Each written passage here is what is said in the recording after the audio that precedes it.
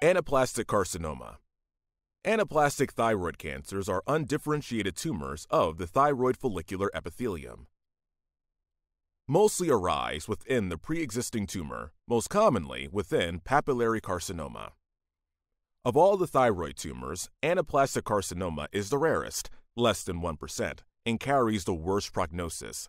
Extremely aggressive, poorly differentiated, with an 80% one year mortality rate. Mainly affect women in 7th and 8th decade. Typical manifestation dysphagia, dysphonia, cervical tenderness, and a painful, rapidly enlarging neck mass.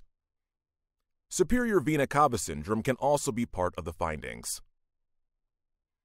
Lymph nodes usually are palpable at presentation. The most common site of metastasis is lung. The general treatment of thyroid cancer and benign solid nodules involves surgical removal plus radioactive iodine ablation, lobectomy if nodule less than 1 centimeter, total thyroidectomy if more than 1 centimeter. Post surgery, the patient is started on levothyroxine.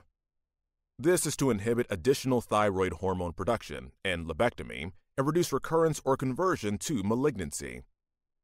To replace thyroid hormone, it is used in a total thyroidectomy since the gland is no longer present to do so. That's all for the video. We'll see you next time.